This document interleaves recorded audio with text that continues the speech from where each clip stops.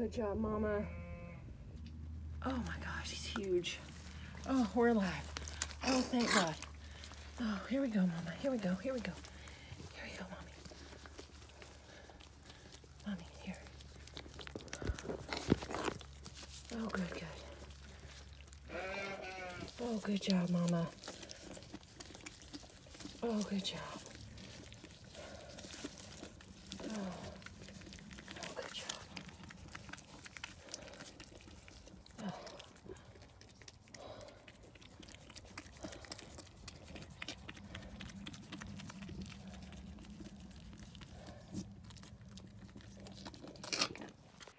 Well, I'm sitting here in the sheep pen with the mama ewe and two babies. Um, her first one was breech, and I had to pull it. I had no idea how hard I would have to pull to be able to get the baby out. Unfortunately, he was stillborn. Um, but with some guidance from some good friends, I was able to um, successfully pull out a second little uh, boy ram who she's currently taking care of. Show you a little picture.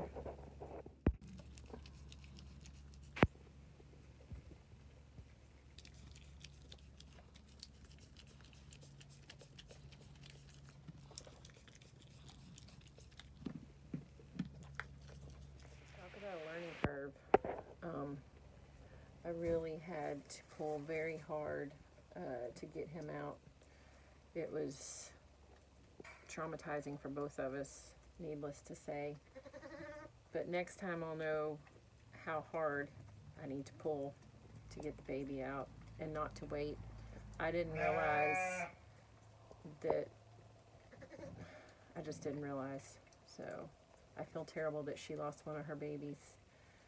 Um, but at least she's got one good healthy one here that's already trying to get up and walk around. Um, anyways, so it was a bit of a rough afternoon. So another thing I've learned is that you have to check to make sure that mama has milk. And she does. So looks like she also has a little extra nipple there, but hopefully it's not big enough to cause any problems. But you can see there's milk coming out. I can't get to the other side yet, so I can't check that. So Mama's labor was a little bit um, intense. I ended up having to pull both the lambs. One was stillborn, as you know.